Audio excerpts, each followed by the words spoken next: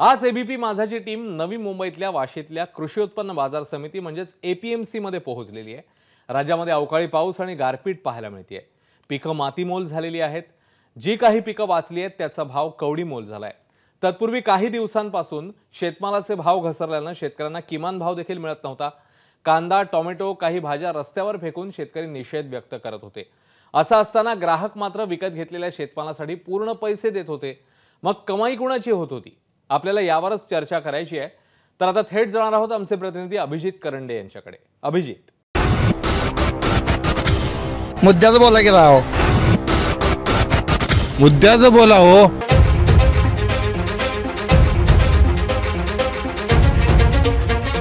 मी अभिजित करंडे. मुद्द्याचं बोला या विशेष कार्यक्रमामध्ये आपल्या सगळ्यांचं स्वागत आहे. आपण आता आहोत आशिया खंडातल्या सगळ्यात मोठ्या कृषी उत्पन्न बाजार समितीमध्ये अर्थात वाशीच्या एपीएमसी मध्ये जिथून दिवसाला साठ ते सत्तर करोड रुपयांची उलाढाल होते. इथं शेतकरी माल घेऊन येतात आणि इथूनच त्यांना आपल्या घामाचं दाम मिळतं. पण गेल्या काही दिवसांपासून आपण बघतोय गारपीट असेल किंवा अन्य संकट असतील त्याच्यामुळे शेतकऱ्यांना मोठ्या नुकसानीला सामोरं जावं लागतंय. लाल कांद्याचे दर पडलेले आहेत. द्राक्षांवर द्राक्षांना फटका बसलेला आहे.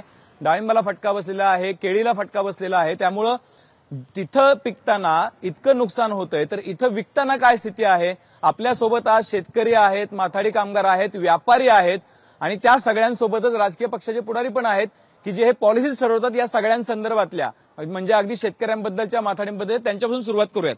आपण शेतकऱ्यांपासून सुरुवात करूयात. आपण गावाकडचे शेतकरी तर बघितले होते पण आता मार्केटमध्ये शेतकरी उभा आहे. त्याची काय अवस्था आपण एकदा जाणून घेऊयात.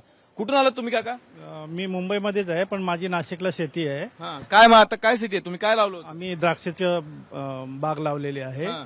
अ, जवळजवळ चार एकरमध्ये आम्ही खूप म्हणजे म, पैसा खर्च करून हा. आणि त्या मालाला म, म, उत्पन्न निघण्यासाठी आम्ही वेगवेगळे प- फवारणी करणे किंवा किती खर्च किती केला चार एकर? चार एकरासाठी आम्हाला चार लाख लाख रुपये तरी खर्च आले. हातात किती पडले पैसे? हातात काही सुद्धा अजून तरी काहीच पडलेले नाही. काहीच पडले नाही, आता नाही. किती जाते द्राक्ष? आता हा भावच नाही तर पाऊस पडला आता काल गारपीट झाली. गारपीटमध्ये संपूर्ण माल आमचा खराब झालेला आहे. मग तुमच्याकडे व्यापारी येऊन खरेदी करता सौदा करता असं काही झालेलं नव्हतं. असं त्याच्या काय- आधीच पाऊस पडला. ते- नाही पाऊस आता काल पडलेला पण त्याच्या अगोदर फळं वगैरे निघायला सुरुवात झालेली आहे ना.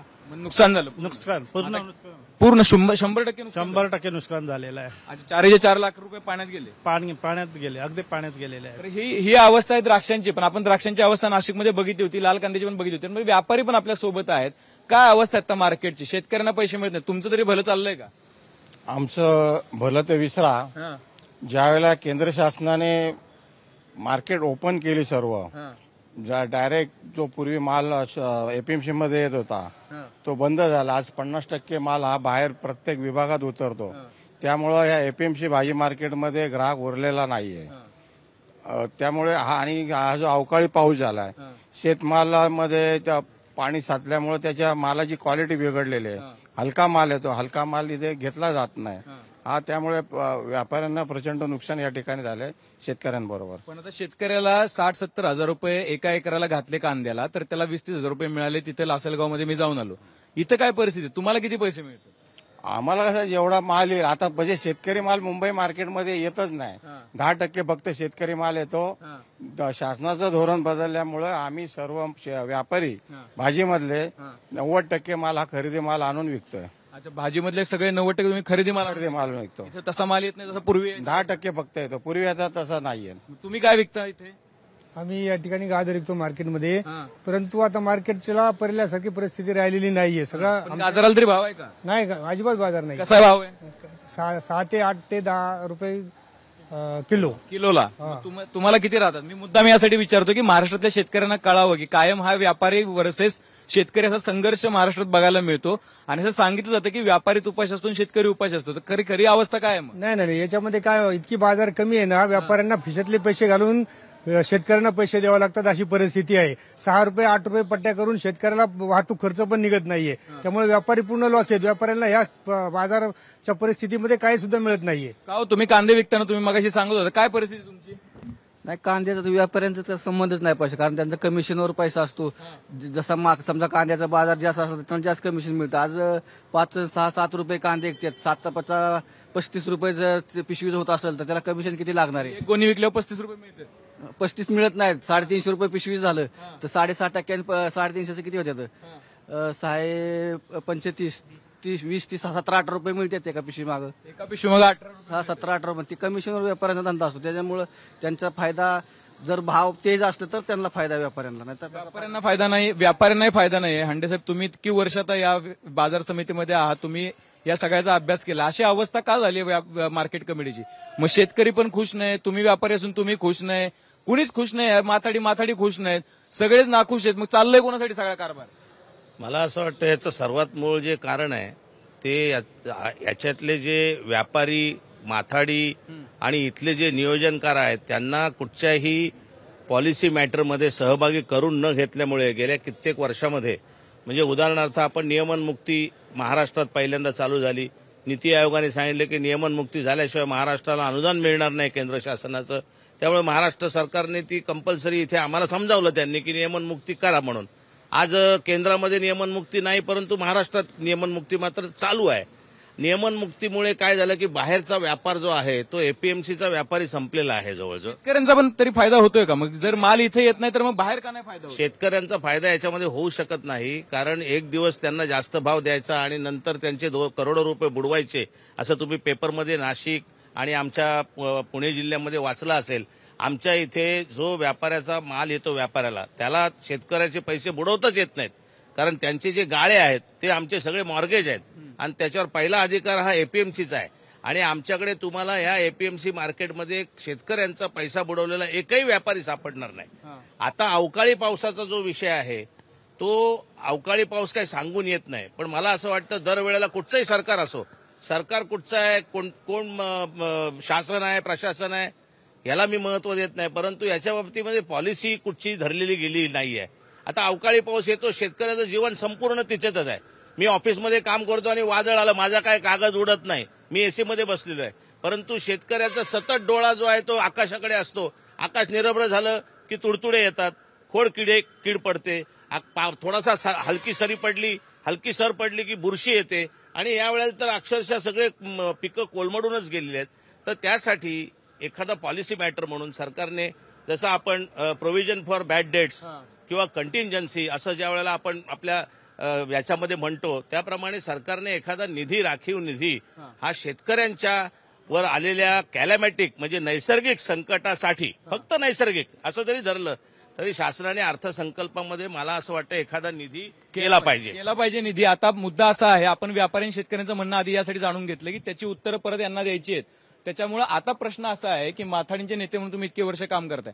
व्यापारी खुश नाही शेतकरी खुश नाही माथाडी खुश नाही. चालवायचं कशासाठी मग हे सगळं?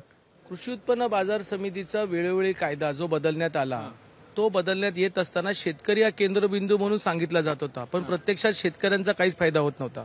हे जे मोठे मोठे उद्योगपती आहेत ह्यांचाच फायदा त्या ठिकाणी होत होता. चंद्रकांत दादा ज्या वेळेला पणन मंत्री होते त्यावेळेला प- शेतकऱ्यांच्या संदर्भामध्ये एक चांगला निर्णय घेण्यात आला पण त्याच्या प्रत्यक्षात काही फायदे झाले नाही. आज केंद्राच्या माध्यमातून हा कायदा रद्द करण्यात आला पण आजही महाराष्ट्रामध्ये हा कायदा रद्द न झाल्यामुळे परबारी माल जातोय. आज जो मोठ्या प्रमाणामध्ये गारपीट झाली शेतकऱ्यांचं नुकसान झालं प्रत्यक्षामध्ये जर बाजार समितीमध्ये जर व्यवसाय आला शेतकऱ्यांचा माल आला तरच माथाडी कामगारांना मजुरी मिळते. मला मला एक सांगा पाटील साहेब. मला फार बेसिक प्रश्न मगाशी तुम्ही सांगितलं की दिवसाला साठ सत्तर कोटी रुपयाची उलाढाल होते. नियमन मुक्ती आधी किती उलाढाल होती? नेमान मुक्तीच्या अगोदर तर फार होती. पण ती सगळी कागदावरती नाही ती अशीच आहे. कागदावरती ती दहा ते वीस टक्केच होती. कारण हे बाजार समिती आहे ना ही. बाजार समिती प्रचंड मोठ्या भ्रष्टाचाराच्या माध्यमातून ही पूर्णपणे भरकटलेली आहे. त्याच्यामुळे व्यापारी आणि माथाड्यांना ह्याचा काहीच फायदा होत नाही. बाजार समितीचं उत्पन्न काही ठराविक लोकांच्याच घशामध्ये जातं. ना इथं शेतकऱ्यांचा फायदा आहे ना माथाड्यांचा. ते आता इथं कमिटी बसवली पाहिजे. आता एकनाथ शिंदे मुख्यमंत्री आहे शिंदे साहेबांनी कमिटी बसवली पाहिजे देवेंद्र फडणवीस साहेबांनी कमिटी बसवली. एवढा भ्रष्टाचार झालाय बाजार समितीमध्ये की काही लोकांनी टेंडर्सच्या मदतीतून हायकोर्टामध्ये तक्रार केलेल्या आहेत. तरी या संदर्भामध्ये काहीच कारवाई व्हायला मागत नाही. म्हणून बाजारमध्ये एकच म्हणणं आहे. बाजार समितीला बसवण्याकरिता बाजार समितीमध्ये व्यापार आणि शेतकऱ्यांना न्याय मिळवून देण्यासाठी या ठिकाणी चांगलं प्रशासक आलं पाहिजे आणि वेळोवेळी सरकारने व्यापारी आणि माथाडींची भूमिका समजून घेतली पाहिजे. बोलली गेली पाहिजे. चर्चा केली पाहिजे. चर्चा केली पाहिजे. आता या या मी मी हा मी मी हा. एक सर्वात कळीचा मोठा मुद्दा जो साहेबांनी सांगितला की गेल्या परत इथे सुद्धा सरकार कोणाचं याला महत्त्व नाही पण कांदा महाग झाला की सरकार कोसळतं. या भीतीपोटी सरकारने जे कांद्याच्या एक्सपोर्टवरती जो निर्बंध लावलेला आहे तो निर्बंध त्याची त्याच्याबद्दलची जी एकसूत्रता पाहिजे आहे त्याच्याबद्दलची एखादी शेतकऱ्यांच्या दृष्टीने पाहिजे आहे. तुम्ही नियमनमुक्ती एका बाजूला म्हणता आणि एका बाजूला कांद्यावर मात्र नियमन ठेवता. यामुळे कांद्याचं बरंचसं नुकसान झालंय खास करून आणि बऱ्याचशा त्यांचं जे आता समजा कांदा एक्सपोर्ट जरी त्यांनी चालू केला तरी त्याचा फ्लोर रेट इतका हाय ठेवतात की तो कांदा जाणार नाही. आज जगामध्ये कांदा बोला बोला. कांद्याचं एक्सपोर्ट आहे ना मध्यंतरी आपल्याकडे तेजी झाली. शासनाने चार महिन्यासाठी बंद केलं. त्याच्यामुळे आज बांगलादेशने आता आपलं एक्सपोर्ट बंद केलेलं आहे. ते वर्षातनं चार महिने पाच महिने आपला माल घेत नाही. आपलं जेवढं एक्सपोर्ट होतं त्याच्या पन्नास टक्के बांगलादेशला माल जातो. माझी ह्या माध्यमातनं गडकरी साहेबांच्या माध्यमातून एक विनंती आहे केंद्र शासनाला की एक एक्सपोर्ट असोसिएशनची मिटिंग लावा. एक्सपोर्टचं धोरण नक्की करा. किती तेजी हो. एक्सपोर्ट बंद झालं नाही पाहिजे. आता बंद का चालू आहे? आता एक्सपोर्ट चालू आहे पण जेव्हा दोन वर्षापूर्वी आपण बंद केलं परराज्यातल्या लोकांना जास्त पैसे झाले कांद्याचे. त्यांचा पाकिस्तानचा माल दुसरीकडे गेला.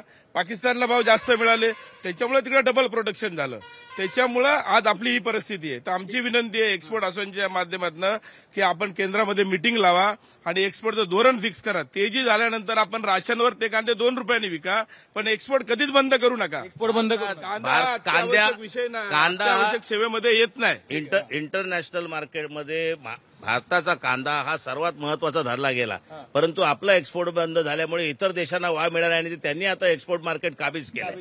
काबीज केले. मार्केट काबीज केले. आता ही स्थिती आहे. आता मी गरज साहेब तुमच्याकडे येणार आहे. पण त्याच्या आधी मी गृहिणींच्या दोन तीन फक्त हे घेतो रिॲक्शन की मी तुम्हाला शिवसेना म्हणून विचारत नाही. पण तुम्हाला कांदे कसे मिळतात? तिकडे दोन किलो दोन रुपये तीन रुपये सहा रुपये विकले जातात. जरी तिकडे शेतकऱ्यांचे दोन आणि तीन रुपयांनी जात असले तरी सुद्धा आम्हाला गृहिणी म्हणून तीस ते पस्तीस रुपये किलो कांदा मार्केटमध्ये मिळतो. तुम्हाला किती तुम्ही कांदा खरेदी केला का ताई? आम्ही आणतो. गावावरून आणताय? यांचं बरं आहे आपलं कांदा गावावरून आणताय ते. तुम्ही? हो घेतो. हा? गावावरून कांदा येतोय पण तीस ते पस्तीस रुपये मार्केटला कांदा आहे. आता अशी जर स्थिती राहिली तर पंधरा ते मग व्यापार व्यापारी आता मी इथं विचारतो ते बारा रुपयांनी विकत होते मगाशी. माझ्यासमोर त्यांनी एक सौदा केला. मग तीस ते पस्तीस रुपये म्हणजे शेतकऱ्याला नाही व्यापाऱ्याला नाही माथाडीला नाही धोरण कुठं चुकलंय मग? या ठिकाणी सर्वात महत्वाचं आता ज्यांनी मान्य केलेलं आहे की केंद्र शासनाचं धोरण मुळात चुकलेलं आहे. कारण या ठिकाणी एक्सपोर्ट बंद करण्यात आला. आणि अनेक ठिकाणी त्या वेळेला ज्या वेळेला आपला देश हा शेतकरी प्रधान देश आहे तर याच्या नियमावरती नियमन बनवलं पाहिजे होतं. एक ठिकाणी तुम्ही सांगता बंद न करायची आणि दुसऱ्या ठिकाणी मोकळीट घेता. आणि अशा ठिकाणी ज्या प्रकारे आता अवकाळी पाऊस आला किंवा गारपीट झालेली आहे तर त्या ठिकाणी शेतकऱ्यांचा उदरनिर्वाह फक्त त्यांच्या शेतीमालावरती असतो. आणि तो भुसपाट झालेला आहे. त्याच्या ठिकाणी कोणालाही लक्ष देण्याचं कारण नाही. आणि ज्यांच्याकडे आज सत्ता आहे जे आज सत्ता भोगतायत त्यांना लग- त्यांच्या राज्यामध्ये किंवा त्यांच्या जिल्ह्यामध्ये किती लोक मरतात त्यांच्याकडे दुर्लक्ष ते होत राहतात म्हणतात. ठीक आहे ठीक आहे. हे हे हे चुकीचं धोरण आहे. धोरण कसं आता बदलणार? कारण तुमच्यावरती येते परत सगळे येऊन पॉलिसी पैसे थांबते होत नाहीये. बघा सगळ्या गोष्टी समतोल राहिल्या पाहिजे. शेतकरी असेल व्यापारी असेल गिरायक असेल समतोल आहे. सगळे दुःखात आहेत. समतोल समतोल दुःखाचा आहे. आन- आनंदाचा समतोल झाला पाहिजे ना. आज तशी परिस्थिती आली म्हणून. अवकाळी पावसामुळे आज परिस्थिती आल्यामुळे सगळे प्रॉब्लेममध्ये आलेले आहेत. पण त्याचंही निरसरण होणार आहे. आज सभागृहामध्ये डिक्लेअर पण केलं पंचनामा सुरू झाले. येणाऱ्या काळामध्ये शेतकरी अतिशय सुजलाम सुफलामच्या पद्धतीने राहतील काही टेन्शन नाही पण सुजलाम सुफलाम म्हणताय अख्ख्या मराठवाड्यात फक्त दोन टक्के पंचनामे झाले. कधी सुजलाम सुफलाम होणार? साहेब, बघा आजपासून अनेक ठिकाणी पंचनामे सुरू झाले. पंचनामा करायला की एकच टीम नाही प्रत्येक तालुक्यामध्ये प्रत्येक जिल्ह्यामध्ये पंचनामे सुरू झालेले आहेत. दोन दिवसाच्या अवधीमध्ये हे. पंचनामे होऊन भरघोस अशी त्यांना सवलत देण्यात येईल. आताच मंत्रालयामध्ये विषय निघाला. एक पण अधिकारी तिथं तुमच्या शेतावर जाऊन हे करायला बांधावर जायला जायला वेळ नाही. कारण सर्वीकडे आंदोलन चालू आहे. आणि आता सत्ताधारी सांगतात की तिकडे उद्यापासून पंचनामे चालू करणार. तर कसं होणार आहे? साहेब सगळे मंत्री महोदय आता निघालेत. बांधावर. जायला. बांधावर जायला निघालेत. बांधावर जायला निघालेत. पूर्वी असं होत नव्हतं. शेतकऱ्यांना शेतकऱ्यांना एक रुपयात विमा दिला जातोय. शेतकऱ्यांना सहा हजार रुपये केंद्र सरकार देतोय. त्याच पद्धतीने महाराष्ट्र सरकार देखील सहा हजार रुपये देतोय.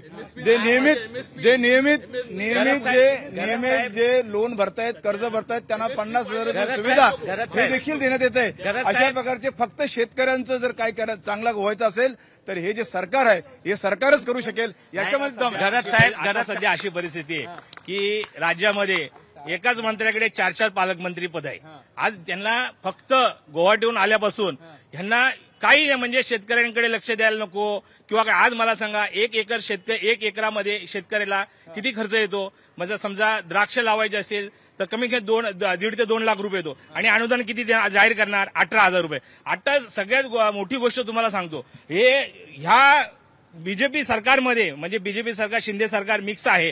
यामध्ये नरेंद्र पाटील पाटील साहेबांसारखे नेते माथाडी नेते बीजेपी जिल्हाध्यक्ष ते म्हणतात ते लक्ष सरकारच लक्ष देत नाही. इथे भ्रष्टाचार चालू आहे. म्हणजे विचार करा. हेच सिद्ध करतात की भ्रष्टाचारी सरकार आहे म्हणून हे सिद्ध होतं याच्यावरून.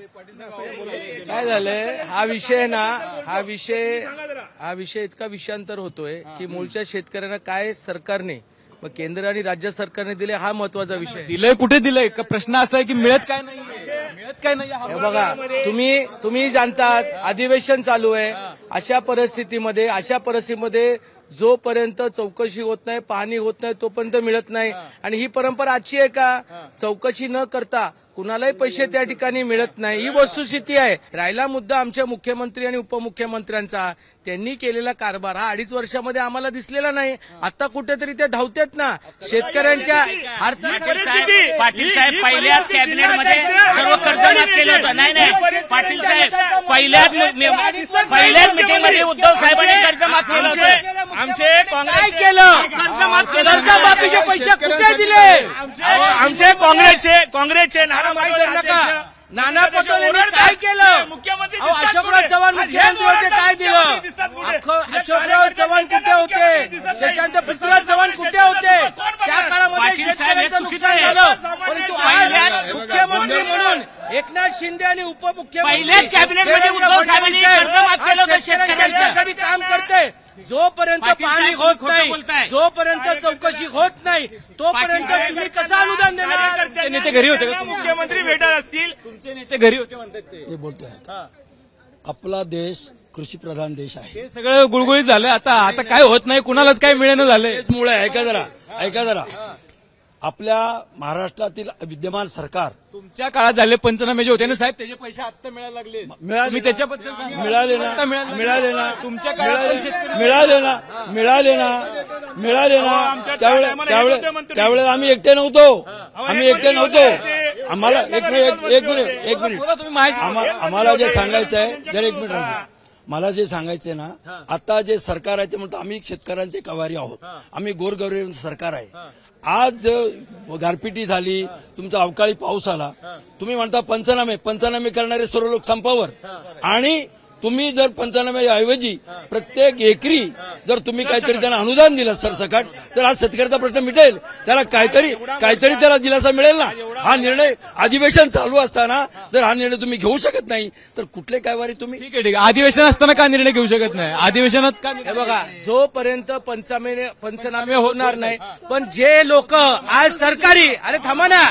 अरे थांबा ना. जे सरकारी अधिकारी आज पेन्शनसाठी आंदोलन करतात त्यांना शेतकरी कळत नाही का? त्यांनी त्यांचं आंदोलन बंद करून पहिले पंचनामे करू शकत नाही का? कशाला यांना पेन्शन द्यावी? पेन्शन कुठून मिळते? सरकारकडनं मिळते. आज शेतकरी त्या ठिकाणी तडपतोय. तर सरकारी अधिकारी जाऊन पेन्शनसाठी हे करू शकत नाही का? पेन्शनचं आंदोलन बनकून जाऊ शकत नाही दोन दोन दोन मिनिटं दोन मिनिटं फक्त द्या. दोन दोन मिनिटं द्या. दोन मिनिटं द्या. ठीक आहे दोन मिनिटं द्या. दोन मिनिटं द्या. मनसे आणि आम आदमी पार्टीला फक्त थोडं त्यांना त्यांची बाजू मांडू द्या. की आता तुम्ही तुम्ही किमान यांच्या सरकारमध्ये दोन्हीकडे नाहीत पण तुमचा कल जो आहे तो यांच्याकडे आहे. तुमचा हा, तुमचा कल यांच्याकडे आहे. मी येतो तुमच्याकडे. तुमचा कल यांच्याकडे आहे. मग कसं करणार आमचा तुम्ही? कल आमचा कल कधीही कुणाकडे नसतो. आम्ही आमचे ठाम आहोत. आम्ही स्वबळावर लढणारी माणसं आहे. मला या सर्वांना एकच सांगायचं आहे की या ठिकाणी संपूर्ण महाराष्ट्रामध्ये खरीप पिकाला शेतकऱ्यांचं नुकसान झालं. त्याच्यानंतर आज रब्बी पिकामध्ये शेतकऱ्यांना अपेक्षा होत्या. परंतु त्याही पाण्यात गेलेल्या आहेत. आज गारपिटीमुळे संपूर्ण महाराष्ट्रामध्ये खूप मोठ्या प्रमाणात नुकसान झालेलं आहे. सातारमध्ये चारशे बत्तीस हेक्टर जमिनीचं शेतीचं नुकसान झालं. म्हणताय तुम्ही त्यांच्या- महाराष्ट्र तुम्ही तुमच्यासोबत नाही, नाही, विदर्भ मराठवाड्यामध्ये विदर्भ मराठवाड्या विदर्भ विषय- विषय- मराठवाड्यामध्ये विषयाचं परिवर्तन नका करू तुम्ही. शंभर कारण का शंभर ऐकून घ्या. कोटीचं नुकसान आज झालेलं आहे. सत्त- सव्वाशे वर्ष काँग्रेस म्हणणं काय? आमचं म्हणणं काय? हे फसवा फसवी चालली यांची. एकदा सत्ता द्या राजसाहेबांकडे मग दाखवतो एकच निशाण. बस. एकदा- एकदा सत्ता देऊन टाका ना. काय प्रॉब्लेम आहे. आतापर्यंत हे इकडचं आणि तिकडे तिकडचं आणि इकडेच चालू आहे. आज जो इकडचं तिकडे विषयांतर करू नका. मी मी मी मी मी इथं एक मिनिट एक मिनिट. तुम्ही विषय पॉलिसीचा मला सांगा इथं पक्षाच्या तुम्ही पक्षाचा विषय घेऊन आलात. पक्षाचा नाही नाही असं आहे की अहो थांबा तुम्ही तुम्ही थांबा. ऐका मुद्दा असा आहे की आता या सगळ्या प- या सगळ्या या सगळ्या मा- अहो ऐका ऐका ऐका ऐका ऐका ऐका ऐका ऐका ऐका ऐका. मुद्दा असा की पॉलिसीमुळे प्रॉब्लेम आहे. पॉलिसी कशी या बाबतीत मला एक एक स्पष्टपणे एक गोष्ट म्हणावीशी वाटते की पहिली गोष्ट म्हणजे भाजपच्या जाहीरनाम्यातलं प्रमुख कलम म्हणजे स्वामीनाथन आयोगाच्या शिफारसीनुसार शेतीमालाच्या खर्चाच्या दीडपट हमी भाव देण्यात यावा. हमी भाव आतापर्यंत कुठलाच कुठलीच कुठलाच पक्ष असू दे कुठलाच असू दे भाजपाने त्यांच्या जाहीरनाम्यातलं प्रमुख कलम असून सुद्धा हे वचनपूर्ती केलेली नाहीये. ही वचनपूर्ती केलेली नाही. मी स्वतः शेतकरी आहे. मी स्वतः शेतकरी आहे. विदर्भामध्ये वर्धा जिल्ह्यात माझी शेती आहे. आणि मी करतो मी तुम्हाला आज सकाळचा पण फोटो दाखवू शकतो. आणि मी गेली दोन हजार दोन हजार सोळा पासून दोन हजार सोळा पासून दोन हजार सोळा पासून मी शेती करतोय. मी नाफेड तुम्ही तुम्ही उत्पन्न दुप्पट त्यांचं म्हणणं असं की स्वामीनाथन आयोग तुम्ही लागू करणार म्हटलं होतं उत्पन्न दुप्पट करणार म्हटलं होतं, ते. लक्षात घ्या परिस्थिती अशी आहे आज अवकाळी पावसामुळे जे काही सर्वे करायचं आहे ते चालू आहेत. आज आपण अवकाळी पावसापुरतच बोलू. शेतकऱ्यांना त्याचा मोबदला मिळणार. उत्पन्नाबद्दल पुढच्या वेळेला. लक्षात घ्या. एक लक्षात घ्या. मुख्यमंत्री एकनाथ शिंदे साहेब हे खंबीर आहेत. कालही कोकणामध्ये कालही कोकणामध्ये जाहीर सभेमध्ये आदरणीय मुख्यमंत्र्यांनी स्पष्ट भूमिका घेतलेली आहे. सभागृहामध्ये देवेंद्र फडणवीस साहेबांनी घेतलेली आहे. म्हणून जे ओरडतात ना त्यांना ओरडू द्या. आमचं सरकार हे शेतकऱ्यांच्या पाठी खंबीर आहे. कृती शेतकऱ्यांना फक्त गाजर दाखवू सरकार आहे. त्या सरकारने सरळ हाते मदत करावी. मुद्दा मुद्दा. मला शिंदे सरकारला विनंती आहे संपूर्ण महाराष्ट्रामध्ये शेतकरी आज बांधावर वाट बघतोय. इथे कुठेही पंचनामे सुरू नाहीयेत. तलाट्यांचा संप असल्यामुळं शेतकरी कुठलाही पंचनामा झालेला नाही. उगाच जनतेची दिशाभूल करू नये. आणि शिंदे सरकारने तात्काळ तलाट्यांचा संप मिटवावा आणि पंचनामे करून शेतकऱ्यांना न्याय द्यावा. पंचनामे झाले आहे ना? किती पाच एकर झाले झाले का पंचनामे नाही झाले बिलकुल. नाही झाले. सरकारी कर्मचारी संपावरती आहे. एक मिनिट आता एक सेकंड एक सेकंड एक सेकंड शेतकरी शेतकरी कोण कोण आहे इथं? शेतकरी शेतकरी कोण कोण आहे? तुमच्याकडे गावाकडे पंचनामे झाले का? नाही झाले. नाही झाले. झाले का पंचनामे? कुणाचेच नाही झाले? महाराष्ट्रामध्ये कुठेही पंचनामे झाले नाहीत. तहसीलदार असेल ग्रामपंचायतचे कर्मचारी असेल ते सर्व संपावरती असल्यामुळे कुठल्याही बांधावर कुणी आलं नव्हतं? कुणी बांधावरती आलेलं नाही. कुणी कुणी बांधावर आलं नाही. कुणी कुणी बांधावर आलं नाही. साहेब ऐका. साहेब साहेब ऐका ऐका. ऐका ना अहो आपण नवी मुंबईला आहोत. हेच जर इंटरव्ह्यू तुम्ही ज्या ठिकाणी अवकाळी पाऊस पडला असेल त्या ठिकाणी घेतलं तर प्रत्यक्षात काय? ए, ऐका ऐका. मी स्वतः जाऊन आलोय चा- सोळा जिल्ह्यात. तुम्ही थांबा जरा. आज आज आपण या ठिकाणी फक्त बाजार समितीमध्ये शेतकऱ्यांचा माल आला नाही तर काय होणार? आज फक्त आपण ही चर्चा करू शकतो. कारण ही चर्चा बांधावरती जाऊन जास्त केली तर जास्त उपयोगाची आहे. बरं बरं बरं, आता आता आता कार्यक्रमाच्या बेजबाबदार आहे ढोंगी आहे. ऐका ना ऐका ऐका ऐका ऐका ऐका ऐका दोन दोन मिनिटं दोन दोन दोन मिनिटं दोन मिनिटं. दोन दोन. ऐका दोन मिनिटं ऐका. दोन अहो दोन मिनिटं ऐका. माझं ऐका. तुमच्या सगळ्यांचं मी ऐकलंय माझं ऐका. अहो ऐका ना माझं. ऐका आवाज. आवाज बसेल थांबा जरा ऐका ऐका माझं ऐका दोन मिनिटं ऐका. असं आहे की सरकार कुठलं पण असलं ना तरी मुद्दा हाच असतो की एकमेकांवरती आरोप प्रत्यारोप होतात पण शेतकऱ्यांचं भलं होत नाही. कुठल्या सरकारच्या काळामध्ये शेतकऱ्यांना पैसे मिळालेत असं होत नाही. ज्या ज्या वेळेला ज्या ज्या अहो अहो, ज्या ज्या वेळेला मिळाले का? मिळाले का? ऐका ऐका. आता आता आता मुद्दा असा आहे. पाटील साहेब पाटील साहेब आता आता शेवटचा अहो शेवटचा प्रश्न आहे. अहो पंधरा लाखाचा प्रश्न आता जुना आहे. आत्ताचा मुद्दा बोला ऐका. ऐका ऐका. आत्ताचा मुद्दा असा आहे. आत्ताचा मुद्दा असा आहे पाटील साहेब की आता व्यापारी असतील ते नाखुश आहेत. त्यांनी सांगितलं शेतकऱ्यांना दर मिळत नाहीये. आणि आत्ताचा मुद्दा माथाड्यांना पण काही मिळत नाहीये. तर आता इथे येणाऱ्याला काही मिळत नाहीये. पण यांना पस्तीस रुपयांनी कांदा घ्यावा लागतोय. ठीक आहे. परिस्थिती जी आहे ती बदललेली नाहीये फारशी. तर आता या क्षणाला आपल्याला व्यापाऱ्याला पण माथाडींना पण आणि शेतकऱ्याला पण जर थोडंफार त्यांना त्यांच्या पदरात काही टाकायचं असेल तर काय झालं पाहिजे असं तुम्हाला वाटतंय?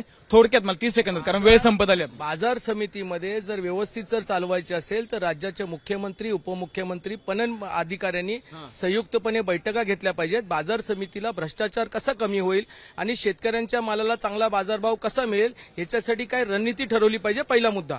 दुसरा मुद्दा आज जो अवकाळी पाऊस आला ना या संदर्भामध्ये मुख्यमंत्री उपमुख्यमंत्र्यांची यांची जबाबदारी आहे की शेतकऱ्यांना न्याय मिळाला पाहिजे त्यांचे पंचनामे वेळेवर गेले पाहिजेत. शासकीय अधिकारी जे कोणी आज या ठिकाणी आंदोलनाला बसलेले आहेत जाऊ दे ना त्यांच्या नादा लागू नका. तुम्ही पर्याय यंत्रणा उभा करू शकता. त्या पर्याय यंत्रणाच्या माध्यमातून शेतकरी बांधवांच्या तोंडामध्ये दोन घास गेला पाहिजे. ह्याच्यासाठी दोघांनी प्रयत्न केले तुमची तुमची काय भूमिका आहे? काय आमची भूमिका अशी आहे की बघा आपण मी पहिल्यांदाच तुम्हाला सांगितलं की जर आज या सरकारला जर शेतकऱ्यांना किंवा व्यापाऱ्यांना मदत करायची असेल तर सर्वप्रथम त्यांनी शेतकऱ्यांना एकर वाईज त्यांनी अनुदान देणं आवश्यक आहे. शेतकरी जर जगला तर व्यापारी जगेल. अनुदान त्यांनी तीनशे रुपये दिले क्विंटलला. ते चूक आहे ना हो. ते ते मी म्हणून म्हटलं ना या सरकारला माणुसकी नाही ह्या स- हा सर हे सरकार बेजबाबदार आहे फक्त घोषणा करणार सरकार आहे यांच्याने काय होणार नाही. अनुदान द्यायला पाहिजे. एकरी अनुदान द्यायला पाहिजे. बघा आता अशी परिस्थिती आहे. पुन्हा एकदा मी पुन्हा एकदा सांगतो अशी परिस्थिती आहे की एका- काय होय, तीस एका मंत्र्या एका मंत्र्याकडे अ, पालकमंत्री पद किती आहेत बघा तुम्ही पहा. तुम्ही तो मुद्दा मांडलाय. आज अशी म्हणते मुद्द्याच नाही नाही, आज अशी परिस्थिती आहे की एक एकराला खर्च किती येतो? त्या हिशोबाने सरळ शेतकऱ्याला मदत केली पाहिजे सरकारने. साहेब तुम्ही बघितलं असेल विरोधी पक्ष नेत्यांनी गेल्या आठ दिवसापासून विधानसभेमध्ये बोलतात. एक पण मंत्री त्या सभागृहात नसतो. म्हणजे नक्की करतात काय? चुकीचं काय? खरी परिस्थिती आहे साहेब. बघा ना. तर माझी विनंती आहे जर तुम्ही महाराष्ट्राने तुम्हाला सभागृहात निवडून दिले काय झालं पाहिजे? काय झालं पाहिजे? काय झालं हो, तिथं ऐका. विधान विधानसभेमध्ये जर विषय निघाला तर शेतकरी सर्वांना न्याय मिळेल. व्यापाऱ्यांना शेतकरी ठीक आहे ठीक आहे. मुद्दा आता एक एक मुद्दा सांगा. एक मुद्दा सांगा. वीस सेकंद. महाविकास आघाडीच्या काळामध्ये वीस सेकंदा मुद्दा. काय झालं पाहिजे? आता काय झालं पाहिजे? या अ, आशिया खंडातली सर्वात मोठी बाजारपेठ आहे. या बाजारपेठेमध्ये नियमन मुक्त केलेला माल परत नियमनात आणावा जेणेकरून व्यापारी आणि शेतकरी जगेल. वीस सेकंद हा. व्यापारी म्हणून मी धोरण सांगतो. व्यापारी म्हणून धोरण सांगतो. शेतकरी मालांना जर योग्य भाव मिळायचा असेल तर पूर्वी व्यापाऱ्यांना आडत कापण्याची मुभा होती. त्यामुळं स्प- व्यापाऱ्यांमध्ये स्पर्धा लागत होती. आणि जो थेट पणन जे चालू केलाय जो उप- उपनगरामध्ये म- शहरामध्ये माल जातोय तो बंद झाला पाहिजे. एपीएमसी डायरेक्ट नियमन मुक्ती नसायला पाहिजे. बरोबर. ठीक आहे. ठीक आहे. हा. व्यापाऱ्यांमध्ये आडत होती त्यामुळे व्यापाऱ्यांमध्ये स्पर्धा होती. स्पर्धेतून व्यापार भाव वाढ होत. होती लक्षात. म्हणजे स्पर्धात्मक दुसरी गोष्ट भारतामध्ये माझी अजून पण केंद्राला विनंती आहे की पीक नोंद कंपल्सरी करा. आपल्याला तीन महिने अगोदर डाटा मिळेल की हे किती उत्पन्न जास्त होतंय. त्याप्रमाणे आपल्याला सर्व नियोजन करता येईल. इथं राजकारण करू नका. शेतकऱ्यांसाठी आपण जमलेलो आहे. शेतकऱ्यांचं कल्याण झालं पाहिजे. माझी केंद्राला विनंती आहे. विनंती आहे. दादा आता वेळ संपली. सॉरी तुम्हाला तुमच्याकडे यायला पाहिजे होतं पण वेळ संपलेली आहे. बऱ्याच लोकांना बोलायचं होतं. माफ करा पण वेळ संपलेली आहे. पण मुद्दा हाच आहे की शेतकऱ्याला व्यापाऱ्याला खुश ठेवायचा असेल तर नियमन मुक्ती हटवा असं व्यापाऱ्यांचं म्हणणं आहे. पण शेतकऱ्याच्या हितासाठी ते नियमन मुक्ती केली आहे असं सरकारचं म्हणणं आहे. त्यामुळे या मुद्द्यावरती भाजपचे सुद्धा काही लोक आहेत जे म्हणतात की नियमन मुक्ती असायला नाही पाहिजे. त्यामुळं सर्वांशी विचार विनिमय करून सगळ्यांशी चर्चा करूनच याबद्दलचा निर्णय झाला पाहिजे. आत्ताची अशी स्थिती आहे ज्या गोण्यांवरती हे सगळे लोक बसलेत त्या कांद्याला भाव नाहीये. दोन ते अडीच रुपयाला लासलगावमध्ये कांदा जातोय. फार फार तर सहा ते सात रुपयाला तिथे विकला जातोय. इथं आल्यानंतर तो बारा रुपयापर्यंत होतोय. म्हणजे कुणालाही याचा फायदा होताना दिसत नाहीये. त्यामुळे आत्ताची अनप्रेसिडेंटेड सिच्युएशन आहे. ज्या सिच्युएशनमधून बाहेर पडण्यासाठी सरकारला तातडीनं उपाययोजनेची गरज आहे. कॅमेरामॅन योगीसह अभिजित करंडे एबीपी माझा नवी मुंबई. एबीपी माझा. उघडा डोळे बघा नीट.